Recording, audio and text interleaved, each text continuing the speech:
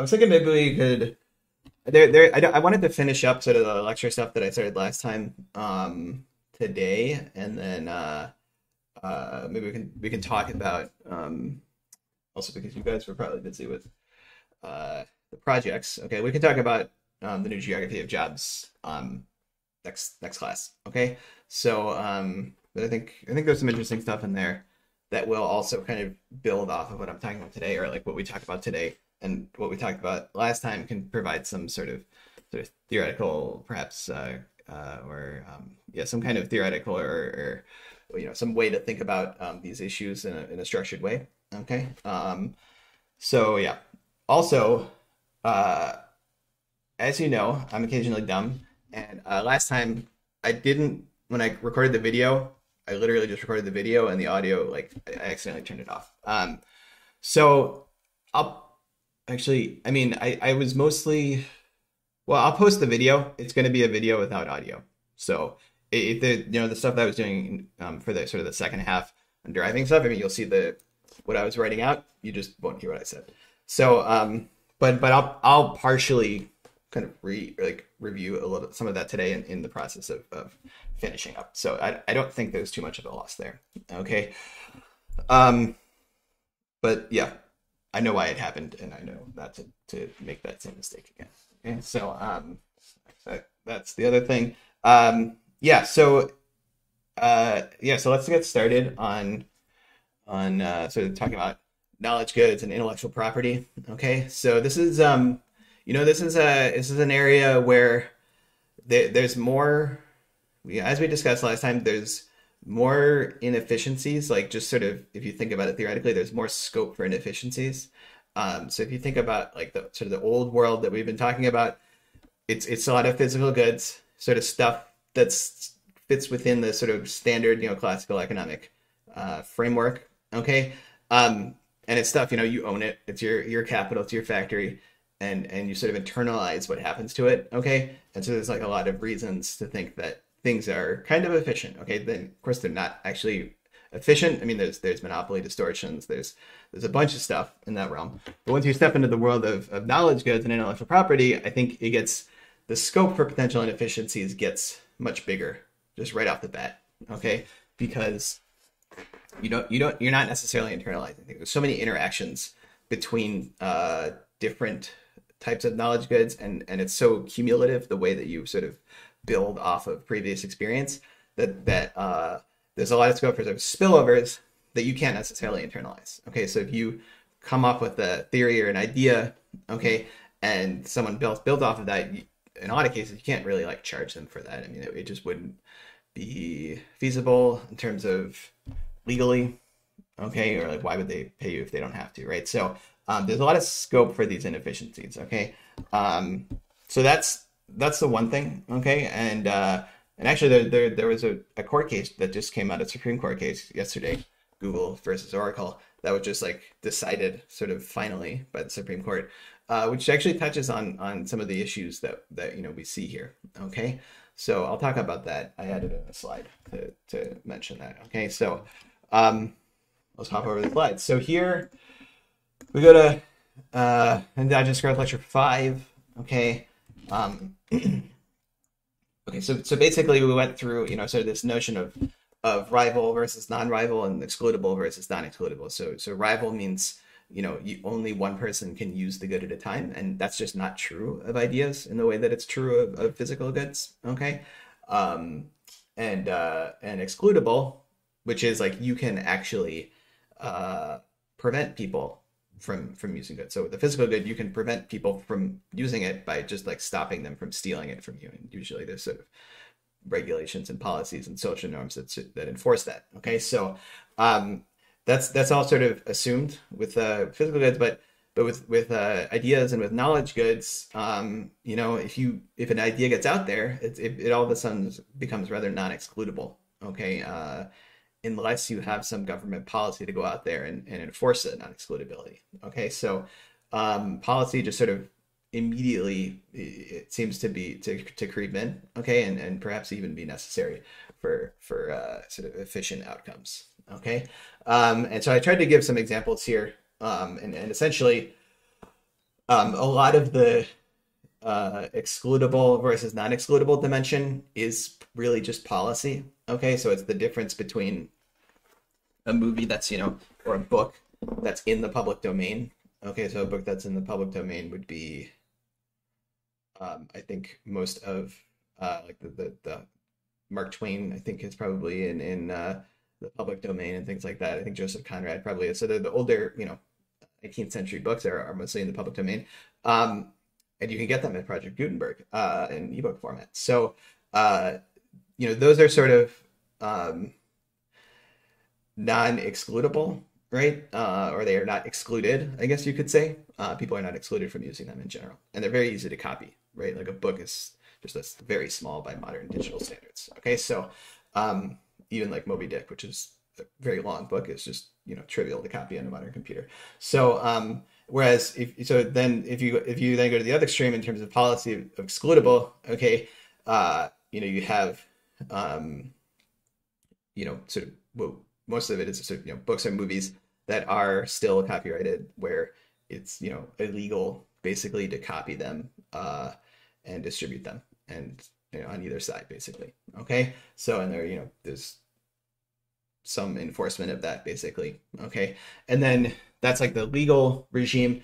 And then if you look at um uh sort of the technological stuff that shows up so you have like drm digital rights management.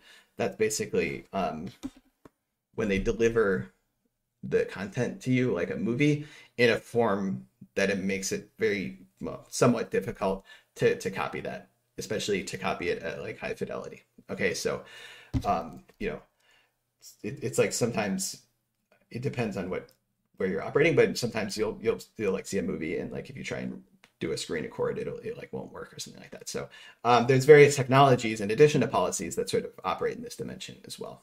Okay, and then you've got like over the years this stuff has evolved, right? So like the the decade or two ago, there was the uh, you know, DMCA Digital Millennium Copyright Act, which really like kind of set the stage for modern uh, copyright enforcement for digital goods because basically once um, sort of storage and bandwidth became uh, available enough and big enough to sort of really easily distribute say a, a movie um, then you know obviously movie uh, studios and like people that own the rights to copyrights to movies like disney for instance got kind of worried um, that it became much easier to copy their goods uh, and so there, there was sort of like this change in the legal regime. Essentially, they upped enforcement and things like that, and made, made sort of made serious penalties for for this kind of stuff. Okay, so um, yeah, so that that was, I mean, that's largely in the past, the, the change uh, in the past, but it was that was a sort of a big development in, in this area.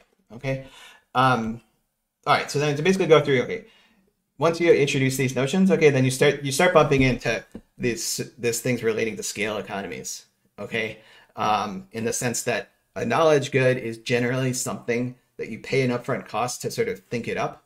Okay, you write the book, you come up with the theory, you write the song, you record the song, whatever. Once you've done that, I mean, it's pretty easy to just okay, make another copy of the book, make another um, instance of the song, okay, uh, uh, or the movie.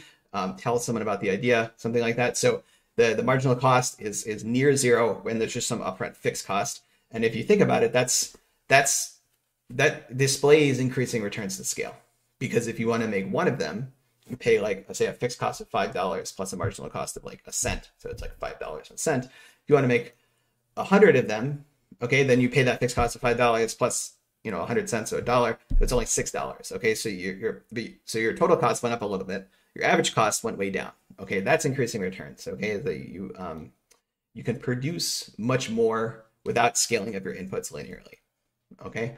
Um, so any and if you think about it, um, if you had such a market where you have to sort of pay a, an upfront cost to enter the market to say to think of an idea or a, a, a song or a movie, um, once you're in the market, if you have you know just unbridled competition where anyone can produce anything, in, in principle, I can copy your song and you can copy my song and distribute it and sell it to anyone. Well, that's going to push the price down the marginal cost, and no one's going to make any money. Like we're not going to which maybe it's fine in the short run, but if no one's making money on this stuff, okay, you might think there are not there aren't many in, uh, incentives to actually produce new instances of the stuff. Okay, at least in terms of you know private monetary incentives. Okay, so it might be that you just you love being famous. Being famous is awesome.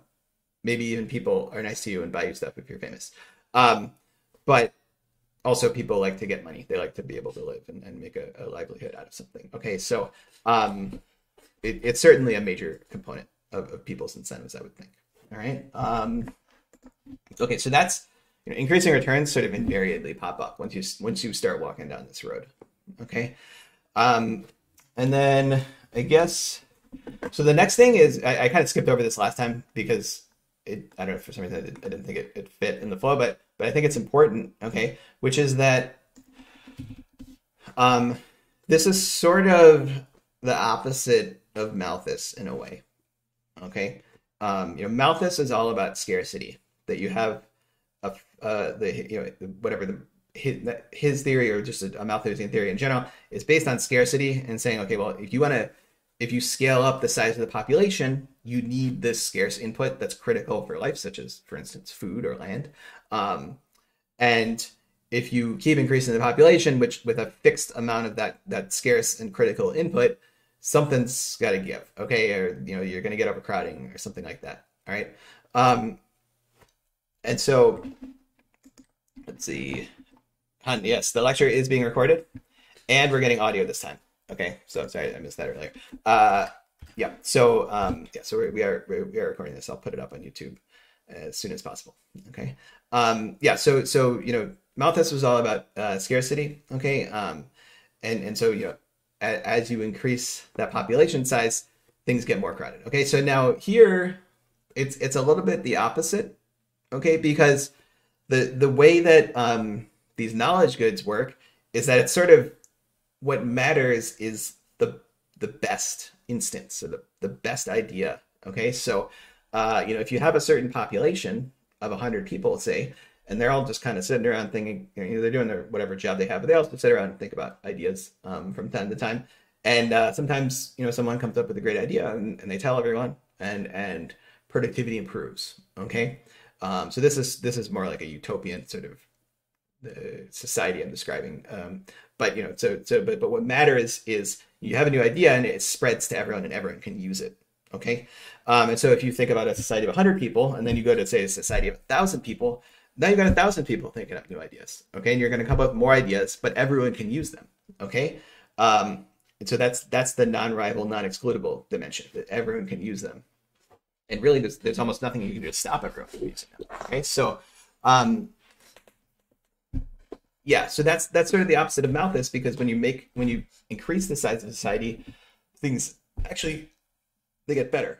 Okay, um, rather they don't get overcrowded. You come up with more and better ideas. Okay, so so I think that's kind of cool, and and maybe it's a mechanism by which we you know society broke out of what was perhaps a Malthusian world at some point.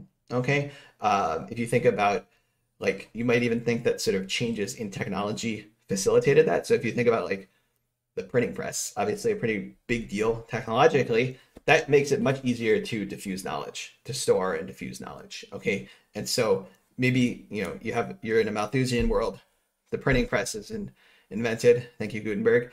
Um, and it becomes much easier to diffuse knowledge. And all of a sudden now increasing the population, yeah, maybe there's some overcrowding, but it has all these benefits in terms of productivity because you can diffuse that to the, the greater populace. Okay, now, back then, not many people could read, so that's another sort of bottleneck. But maybe it also encouraged people or incentivized people to to learn how to read or to, to somehow figure out a way to to get someone to teach them to read. Right. So um, you might think that there's sort of these meta technologies that uh, could facilitate such a transition. Okay. So um, I, I think that's kind of interesting. Okay, and we're gonna well, what the theory that we talked about last time sort of embodies that. Okay, and we're to talk about that a little bit more. Okay. Um, all right. So then we went through the policies. I won't go through this in too much detail. Um, to uh, to to fix that non-excludability, right? So that with the when I was talking about these increasing returns getting out of Malthus, that's the non-rivalry is that everyone can use the idea. Okay. The flip side of that is that if it's if it's not excludable, then if I come up with an idea, then it's just like everyone finds out and it's like, oh, well, I, I didn't really benefit from that. Okay, so um, excludability gives you uh, some way to internalize the benefits, right? So if you can exclude other people from using your idea, you can also sort of exclude them contingently, say on them paying you or something like that, right? So so um, having excludability allows you to start internalizing some of these things. Okay. It also kind of limits the flow and diffusion of knowledge, which can be bad, but it, but at some point there's sort of a trade-off between those two things. Okay.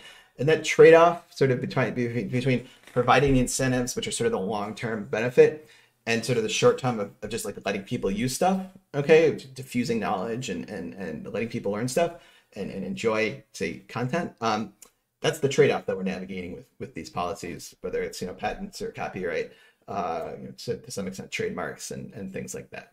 Okay, so um, yeah, and so uh, and and in fact, there was you know I, I mentioned a, a, minute ago there was there was a big case that that was like just decided by the Supreme Court, this Google versus Oracle, and that relates to this um, fair use exemption for copyright. So so part of navigating that trade off is you kind of want to like they kind of want to let people use stuff a little bit, but not too much. Okay, so you they want to let people use stuff in a way that sort of facilitates cooperation okay and cumulative development of, of, knowledge in the future but that doesn't sort of cut into people's incentives too much okay um, so that they're kind of trying to have it both ways but but but at the end of the day you, you do want to sort of balance these two you, you don't want to go to either extreme okay and so that's why fair use kind of exists and so fair use would include things like um, you can play a clip you know of a song, right? So I know that like on Twitch, there's a lot of uh, like with the streaming in general, there's a lot of stuff about like,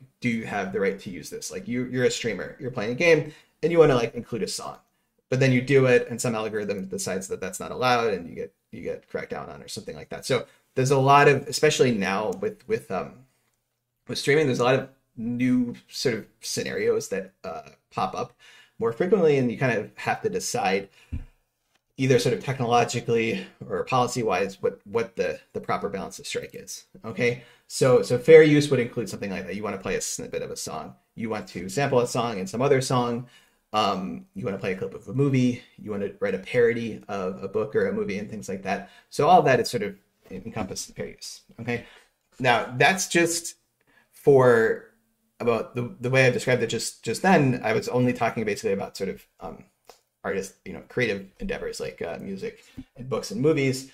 Um, but also for whatever, for various reasons, you know, so software was, it, it sort of lived in both the patent and copyright realms. Okay, so it's sort of in both at the same time because it's it's a technology, but it's also sort of fairly specific, right? So you like you write a piece of software to do a particular task, but also the software might embody sort of general I uh, say an algorithm. Okay, so you, you know, the software might embody a, a, particular algorithm for sorting things or something like that. Um, but the way that you do it is, is is you know a specific piece of code. Okay, so it sort of looks kind of like a book in the sense that it's kind of it's based on text, but it's also a technology in the sense that it uses um, potentially new methods to to accomplish things. Okay, uh, so software though has kind of been um, on on both sides of, of this, um, uh, and also it, it's really, I mean, it, it it's it's old, but it's also in some sense relatively new. If you think about the patents, patents have existed for quite a while. You know, the U.S. Patent Office is is part. You know, it's, it's required as part of the Constitution, so it's it's quite old. Uh, so so in in those sort of long horizon terms, it's it's fairly new, and they had to sort of, you know, they they sort of integrated it into the the system piece by piece and just sort of on the fly. Okay, um, but it's here okay you know and, and, and it's it's fairly mature now the way that they think about it um and so and so yeah so but the the court case that that was just decided yesterday was was about software copyrights okay? Um and and basically and it's actually it was i think it's been the court case itself has been going on for like a decade or something like that. So these these things especially if you have something where it's like a google versus oracle two gigantic companies they're going to put a lot of money and time into this sort of thing, and, and they tend to, to drag out. Okay, so um, but but this one was was about um, software copyright. Okay, and and basically, go ahead. I, I put in yeah. So here's I don't know. I'm not sure if you can read that, but basically, it's about this this Java programming language. Um, and uh, which which basically Oracle. I don't actually think Oracle. Oracle did not create Java. I think it was I forget who created it, but it, I think it was like another company, but they bought that company. So anyway, Oracle owned the rights to to Java, the copyrights to Java, and then at some point Google um, sort of re-implemented the technology. Okay, so they use the same like structure uh, for for the um, interface or the the API, but then sort of rewrote the the machinery of the code um, because they wanted to like use the same interface, but they didn't want to have to pay Oracle basically. Okay, um, and so like any um, Android phone basically runs Java through this Google um, machinery. Okay, so um, yeah, and so so but it, but but essentially what it came down to in this case is is kind of interesting area where you know they they it, it, it's really about sort of standardization. Okay, so if you th- you think about like there's always um, a need to, for for people and companies to sort of standardize things. Okay, you need to be able to cooperate, and so if you think about something like USB, right, like USB, ABC, all those different things, you you want to have a common standard. So you can plug your phone into uh, you know a certain charging port or whatever into your computer um, or device into the computer uh, you want to have like a common standard, okay? And if, if one company said, okay, well, we came up with a standard and you shall all use it and you have to pay us for it, they would kind of unduly be taxing the whole ecosystem for for not i mean like the, the shape of usb really isn't that important the only important thing is that it is a standard standardized shape across devices okay um and so it's that kind of thing where it's like you have you need to standardize things and you don't want the copyright to get in the way of that and you don't want one firm to sort of to sort of you know extract all of the rent associated with standardization you just want to, to, to be distributed amongst the populace okay? Um, so this is sort of the same thing but with software where it's like the api is the standard how you implement it you know if you, if you have a if you have a function that says takes a string and capitalizes it that's like this this the standardization is what the function does. How you do that is is a different thing okay? So so this this was kind of an interesting thing and and um possibly very important also because like obviously software is a huge industry um, and how you treat intellectual property uh, in, in the realm of software is, is going to have a big effect on that. Okay uh, probably things will change okay? I mean like things will evolve over time uh, especially as these cases come through um, but but i think this is, is potentially a big deal okay? Um, yeah but but i guess the thing is that the takeaway here is that it's it's complicated you know? I mean it's, it's not there's not an obvious solution to all of these things. Okay, uh, because there's so many different competing parties and, and factors. Um, and so at the end of the day, sometimes you just have to sort of get down in the details and and and and and figure it out. And there's going to invariably be sort of legal battles associated with that. Okay. Um, all right. So that's that's a sort of an, an addendum on that fair use stuff. Okay. So we already went through the sort of like the the um, uh, increases in the, the rate of patenting per person. It's getting localized more and more, both geographically and in terms of industry, and those two are correlated for the very reasons that are outlined in, in the new geography of jobs. Okay, um, and so on. Okay, so um, all right, so I I guess now I'm gonna to get a, a little bit more into um, the the theory side. Okay, uh, so I'll sort of pick up where we were last time. Okay, so yeah. Um, okay, but let me let me. I'll start off here on the slides and then jump over to the, uh, the written notes in a, in a moment. Okay, so but basically last time we we introduced this this this model of endogenous growth. Okay, and um, so sometimes this is called semi the, the one I'm talking about here is called semi endogenous growth because um, we're, we're still we, we're taking the number of researchers out there as sort of exogenously given. Okay, so so it's you know, before we would take the, the whole path of technology as exogenously given. So we're taking one step and saying, well, the number of researchers is exogenous. How many people are out there becoming researchers is exogenous. But then how that influences the path of technology is endogenized. Okay. Um, the next step, fully endogenous, we'll talk about after this, is where you actually make it so that people are deciding, do I want to be a researcher or a production worker?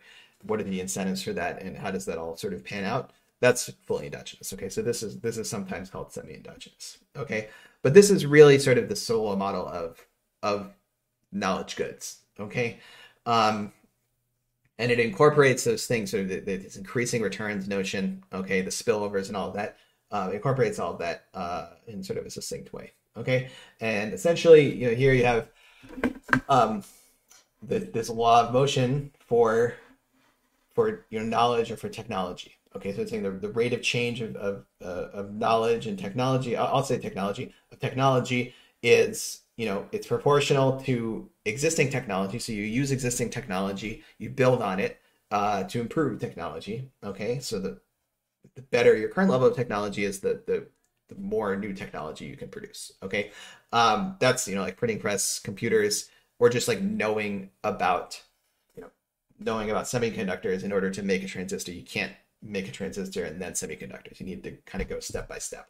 Okay, so um, it's one thing, and then and then R. The other input is just that how many researchers you throw into this problem.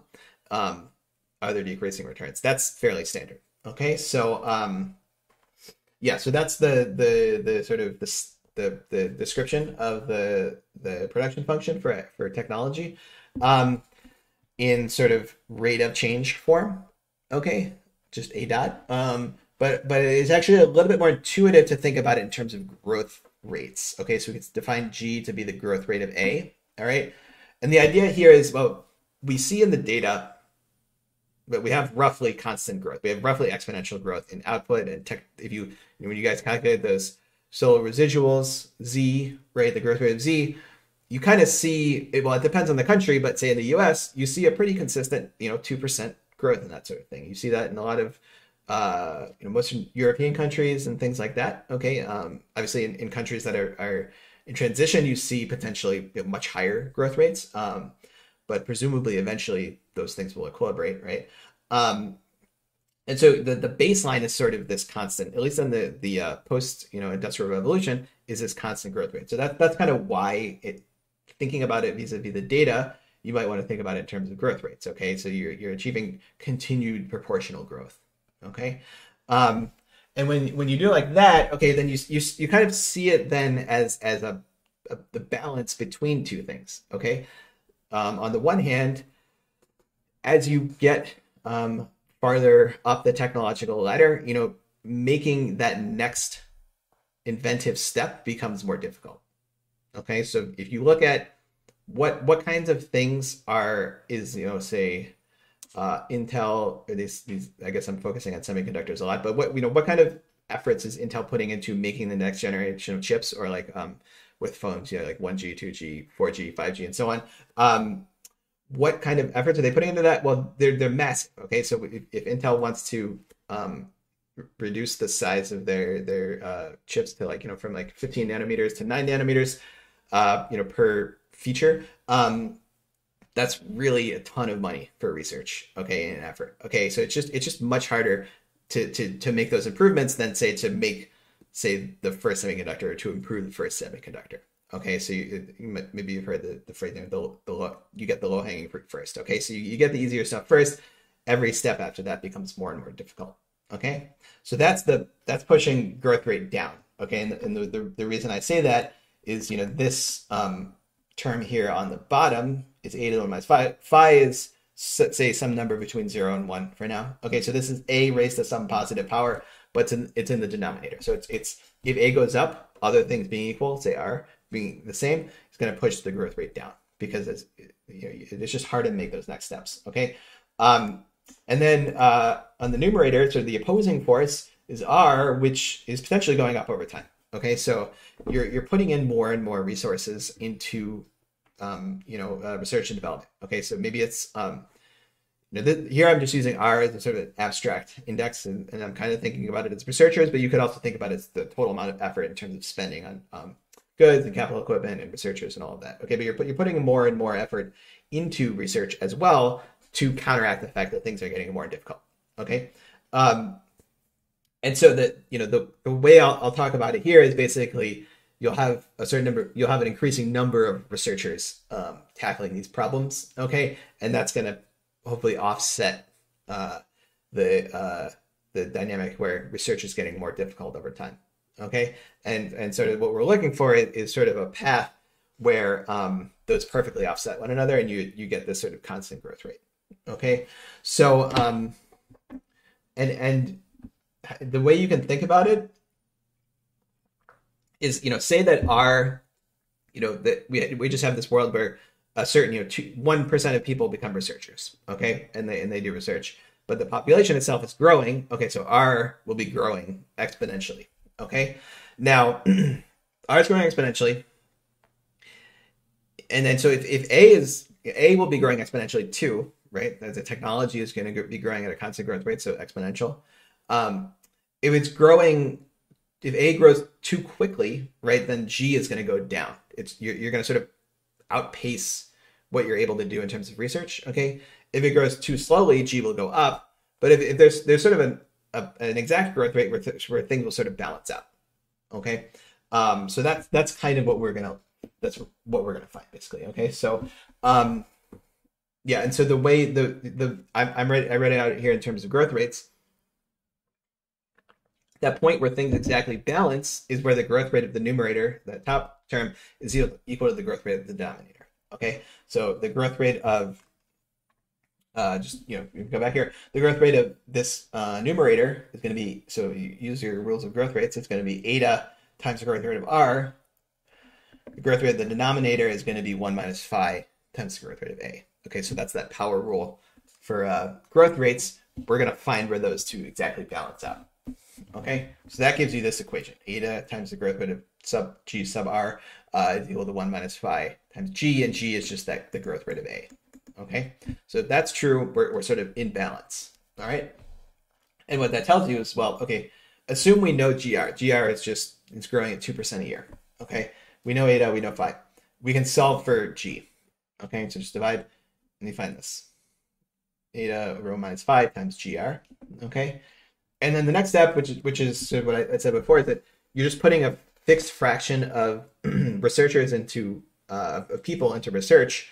So the the you know basically what that means is r is equal to some fraction s of l at any given time. And what that means is that the growth rate of r is equal to growth rate of l. Okay, they're just scaling it proportionally.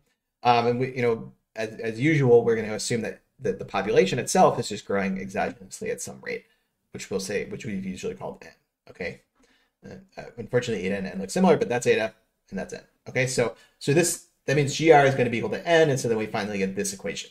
Okay, so this is sort of the key result that this this is your growth rate. Okay, and the two things you want to note about this are one the thing I, I note on the slide here is that first it doesn't depend on s. It doesn't in the long run. It doesn't matter um, how what fraction of people you put into research. Okay, because if you put in basically if you put in more people into research. In the short run, you will, yes, get an, an increase in the growth rate. You're putting more people into research. Clearly, you should get an increase in the growth rate.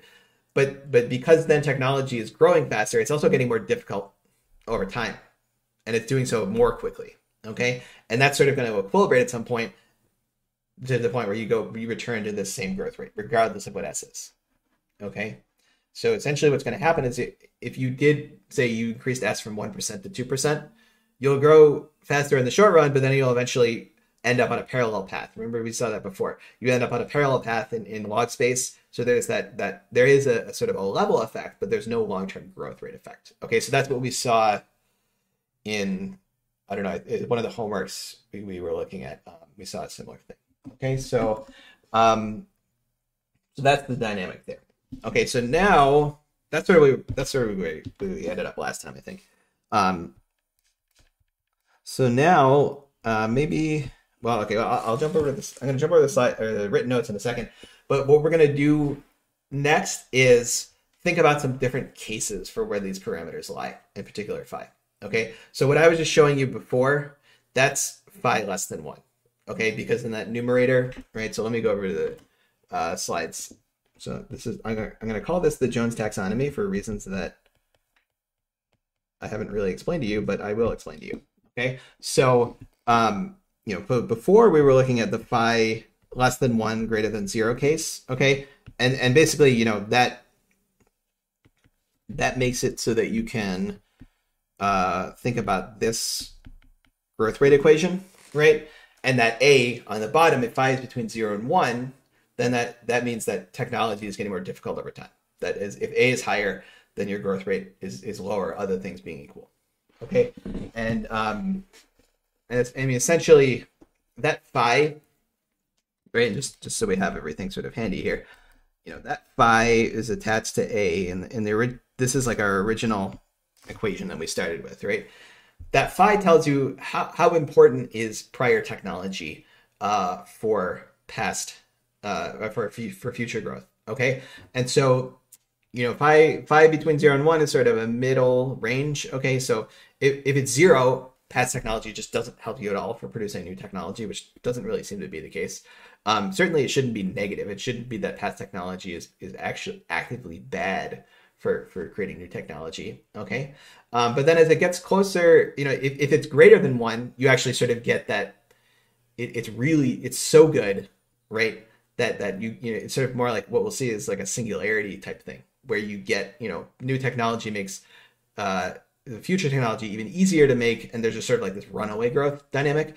Whereas between zero and one, it's sort of like you get some sort of stability. Okay, so zero one sort of where we're going to think things are going to reasonably exist. Okay, especially if you look at the data. Okay, um, and and we we bit you know in the zero one case, you know, you exactly that's where you that's where we derive, you know, basically that you're gonna end up with uh, let's call it like G star, the equilibrium growth rate is going to be just be that that equation that we derived just a second ago. Okay, so that's that's like case number one, I guess. Um, the other case you can think of, okay, so there's greater than one. Let's hold off on that for a second. Okay, let's think about phi equals one. Okay, so it turns out that phi equals one is sort of a special case. Okay, so phi between zero and one, we got that old outcome, but phi exactly equal to one, which maybe you would say is improbable that it would be exactly one, but let's just go with it.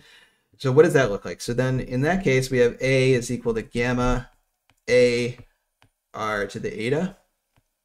Okay, now if, if you look at um, here, if you look at this equation here, okay, if phi is equal to one, okay, actually this a just disappears. Okay, so that's that's what we're going to see here. You know, if you, if you start with original and just divide by a, get 8 out over a equals gamma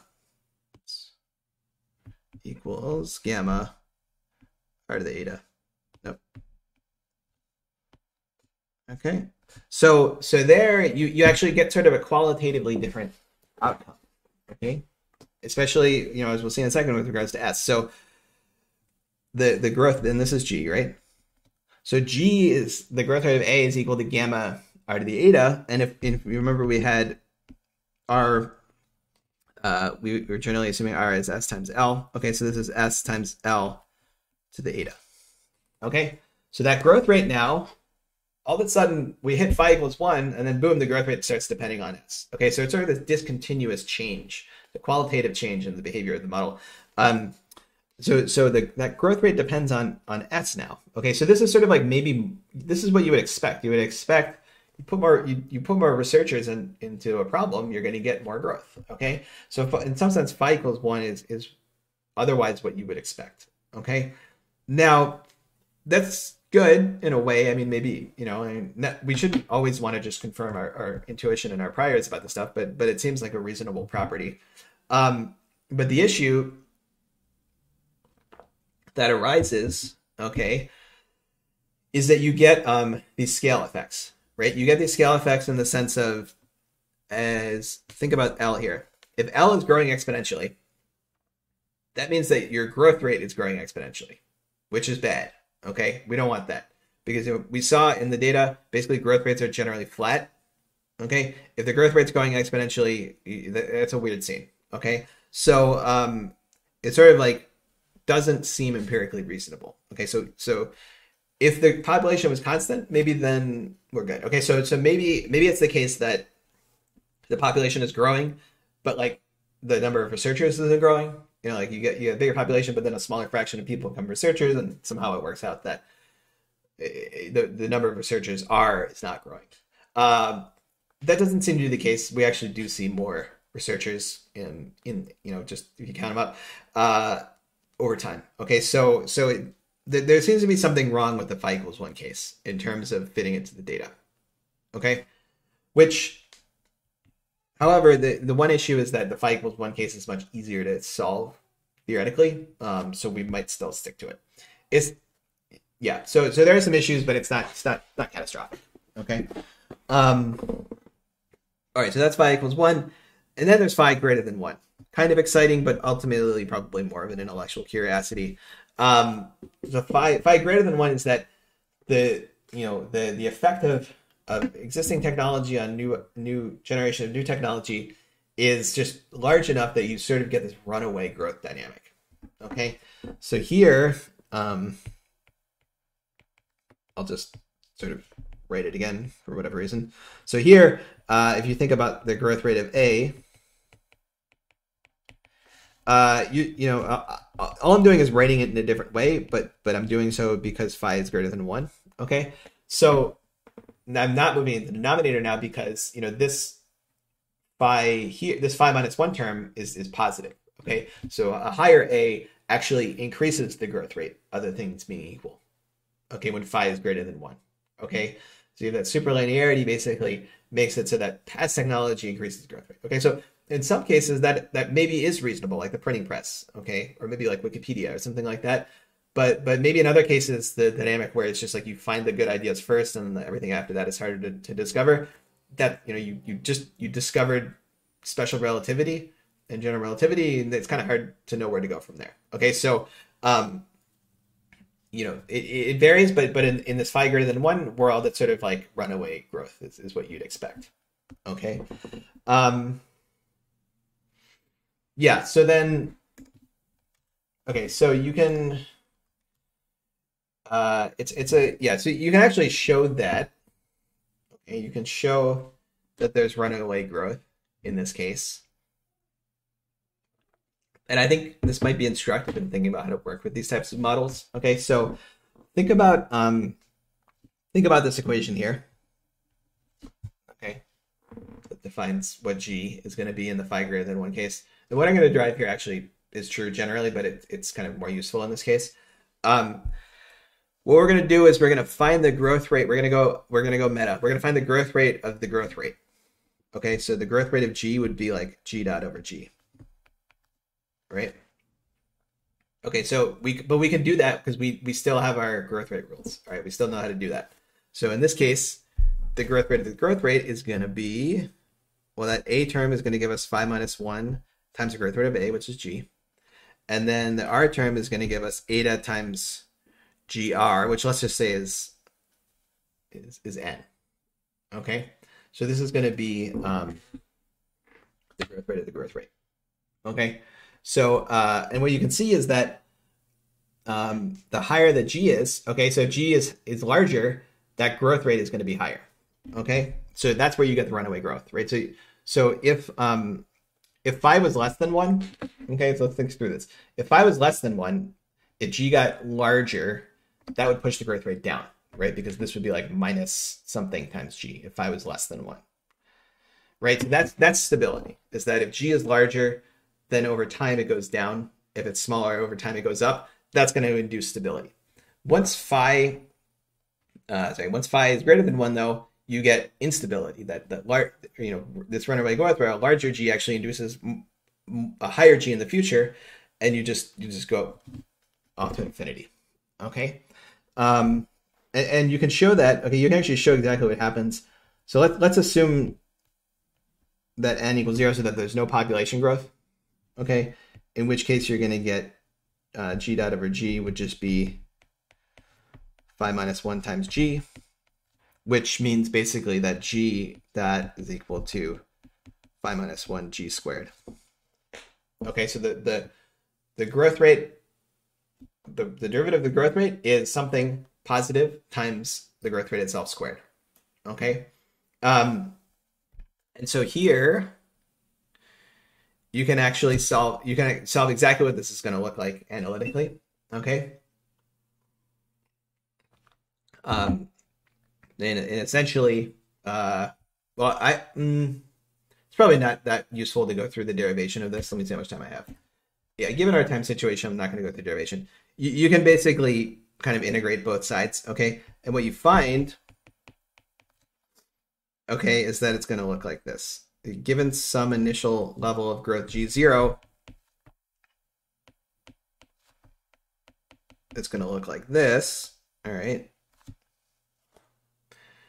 Okay, and so what does that mean? Well, if you look at the denominator here, you know, as if as t goes up, okay, so if t is zero, you start this term is zero, and you just get g zero. So whatever your initial level of growth is. As t gets larger, eventually this this right hand term here is going to hit one, and that that's a singularity.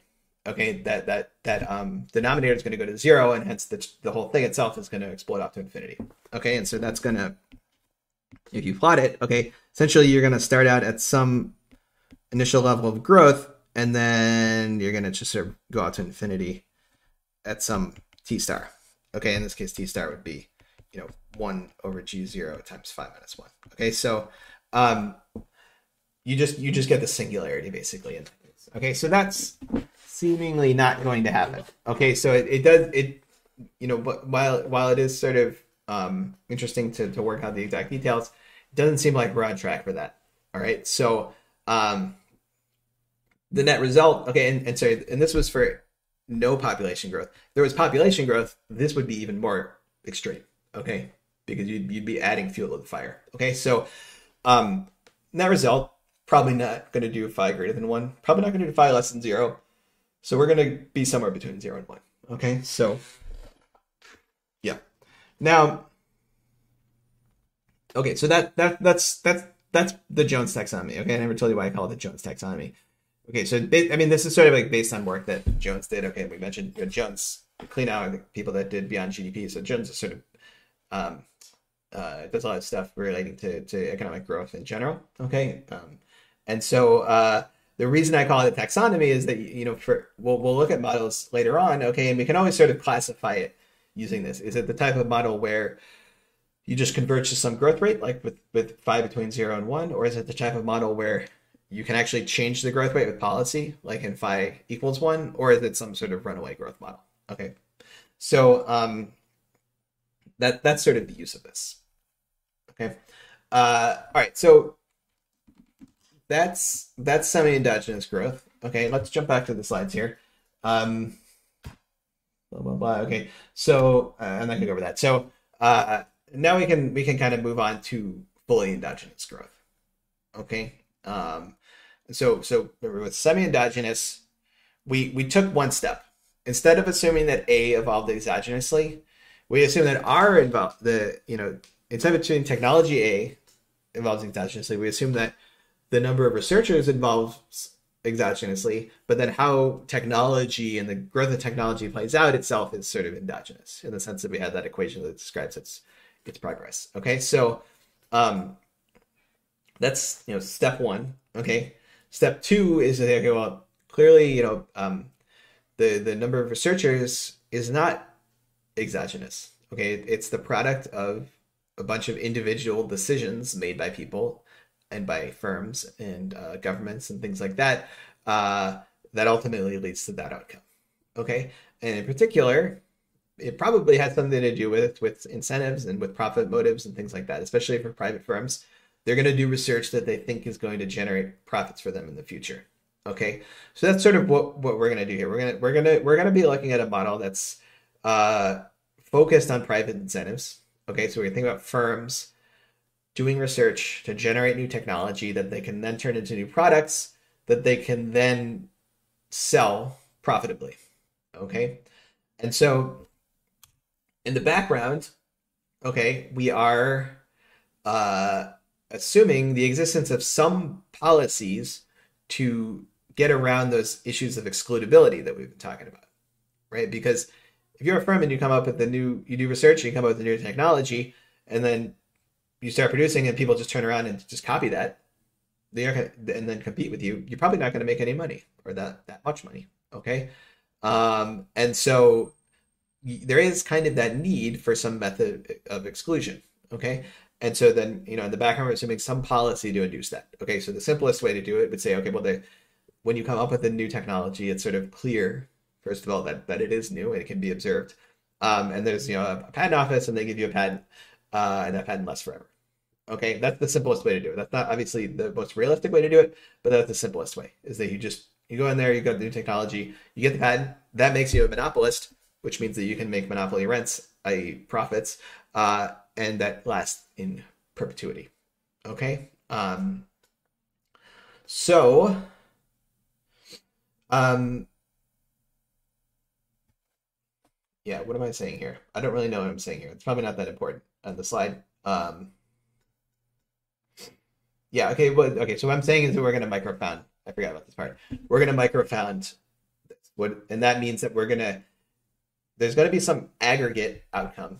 Okay, and this this is a fairly popular way to approach things in, in macro nowadays.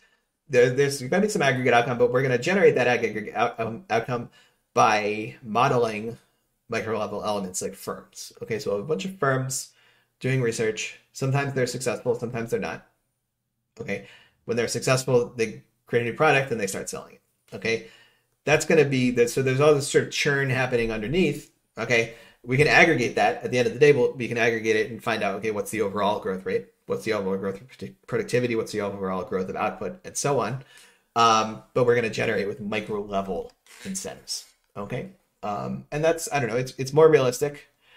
It's um it's something you can match to the data. Like we might have micro level data, and it's just if you can, you know, it, it's better to have that. If, if you can match a model to data, it's better to to try and meet the data where it is. You know, um, rather than just looking at aggregates and treating treating countries and and and things like that as just totally aggregated. You know, units you, you want to you want to make sure that you capture the dynamics at, at multiple levels. Okay. Um, okay, so that in, in particular, the model that I'm going to talk about is called the Romer model. Okay, so there's this guy by the name of Paul Romer um, who uh, did some research on on endogenous growth. I think yeah, he won the Nobel Prize. I think yeah, he won the Nobel Prize um, a couple years ago, maybe even like two years ago. I can't remember um, for that work mostly. Um, and uh, yeah so so but it, it, was sort of foundational in a way in terms of how do you think about uh, these issues but but but really what it's doing is sort of operationalizing some of that stuff we were talking about with increasing returns and and excludability. Okay? So um yeah so that's that's that's what we're gonna do. Okay? Uh i guess we don't have that much time okay to to go through it. Okay? So i'll just sort of give you the intro and then we can we can work from there. Okay. Um, I'm trying to think if there's anything in terms of prefatory remarks that I want to say about the model. Uh, so it's micro-founded. Okay, we're going to be looking at incentives. We're assuming in the background some policy. Okay, yeah. And so the, the other thing I, I, I want to say though is that um, in general, when we're thinking about endogenous growth models, okay, you know, there's a million different types of endogenous growth models that you can write, and let me assure you, people have written many of them. Um, and but two of the the main kind of flavors that we'll see, okay, one is this Romer model, okay, and what the Romer model looks like is basically people. There's a bunch of products or product lines out there, okay, and every product is produced by one firm, okay, a monopolist and they have like a, a, a patent of infinite length uh, associated with that. And then, but there's people doing research and coming up with new products. Okay. And they come up with new product and it's just, it's sort of like this long tail. You just come up with a totally new and different product. Okay. So it's, it's more like movies or music. Okay. You just come up with a new thing, a new album, a new, a new movie. Okay. And, and maybe, maybe people listen to it. Okay. Um, and so so there's not that much sort of head-to-head competition okay you're just like oh, here's another thing you can buy okay um it is true that like if you buy product a you're you know you're gonna probably have to buy less of you buy more of product a you, you may have to buy less of product b okay so there's sort of like some vague sort of competition going on but it's not it's not sort of head to head okay you're just sort of expanding the set of products okay um and so uh yeah so so that's the idea for for Romer is is um, you're you're expanding the set of products. Okay, so people can buy more things. Okay, um, they can buy more sort of differentiated goods. Okay, so it, it's a lot like you see when people talk about stuff like the long tail of, of products. It's like you're not um, necessarily making like cheaper products or anything like that. You're just making like more varieties of products. And so like maybe, you know, I think I think the analogy is, is sort of apt for like music and movies. It's just like there's a bunch of different niches and as time goes on, those get more and more explored. Um, and that's good because people have particular tastes and they like watching or listening to different particular types of music. Um, and that that's sort of that the gains coming from variety. Okay, so that's that's a Romer type model. Okay, and then the other one that I'll talk about mostly is this is what's called sort of a Schumpeterian type model. Okay, so the so the that references uh, Joseph Schumpeter, who's uh, quite a bit older than Romer. Schumpeter was around a while ago, possibly over 100 years ago, certainly more than 100 years ago. I don't remember exactly, probably in the 19th century. So he's, he's sort of an old style, um, you know, like proto economist kind of person.